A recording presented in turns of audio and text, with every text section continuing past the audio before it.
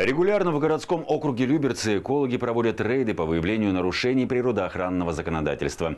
Специалисты обследуют все промышленные зоны. Об одной из таких проверок промзоны в Матикове расскажет наш корреспондент.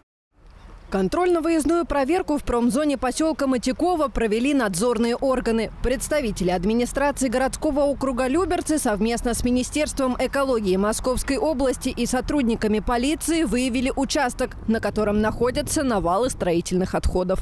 К сожалению, собственники подобных земельных участков э, уверены в следующем. Мы купили в собственность э, земельный участок, поэтому вправе делать все, что нам захочется. Так вот, уважаемые собственники подобных земельных участков, вы не имеете права размещать у себя на открытом грунте строительные отходы. Закон о охране окружающей среды распространяется на все земельные участки, независимо от формы собственности и вида деятельности. Наличие таких строительных отходов является нарушением природоохранного законодательства. На месте работали эксперты-экологи. Они провели замеры загрязненной площади и собрали пробы грунта для определения причиненного вреда окружающей среде. По результатам контрольно-надзорного мероприятия выявленное признаки размещения отходов производства и потребления.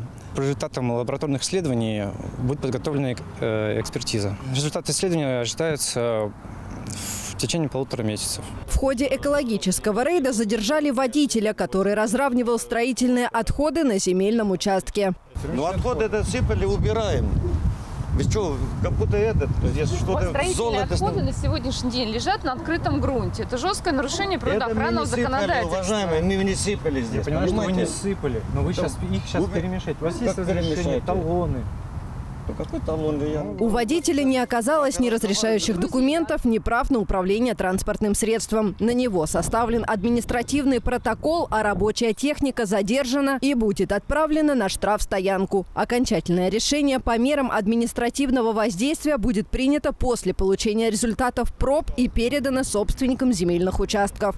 Анастасия Кладинова, Петр Пономаренко, телеканал ЛРТ.